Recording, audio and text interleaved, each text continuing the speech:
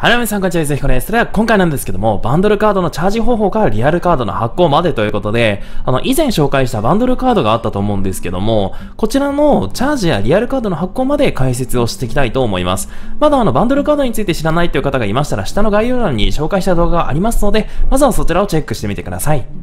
それでは。早速、アプリのインストールから登録までお伝えしていきたいと思うんですけども、まずは iPhone でしたら App Store からアプリをインストール。インストールできたら新規登録。そして電話番号を入れてショートメールが届いたら認証番号を入力。そして、えー、ご希望のユーザー ID とパスワードを入力。生年月日を入力して、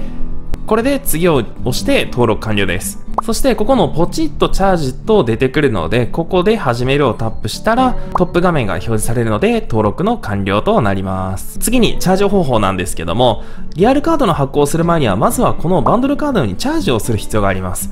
なので、えー、チャージ方法がとにかく色々ありまして、まあ、ポチッとチャージ、ドコモ払い、セブン銀行 ATM、コンビニなどですね。で、今回僕はセブンイレブンのセブン ATM を使ってチャージしてきました。これめちゃめちゃ簡単なんですよ。やり方は、セブン銀行の ATM で、ここのスマートフォンでの取引っていうのを選択します。次に、スマホで QR コード読み取りを選択して、ATM に表示される QR コードを読み取って、入金したい現金を投入して、そしたら、もうすぐにバンドルカードのアプリ側に1000円が入金されたことで表示がされます。これでチャージは完了です。次は、リアルカードの発行です。ここのカード手続きにある、ここのリアルカード発行というのをタップしたら、どちらか好きな方を選択します。今回僕はここのレッドを選びました。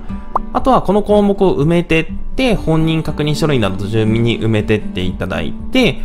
で、全部埋めることができたら、ここの発行をタップしたら、もう発行の手続きはこれで完了です。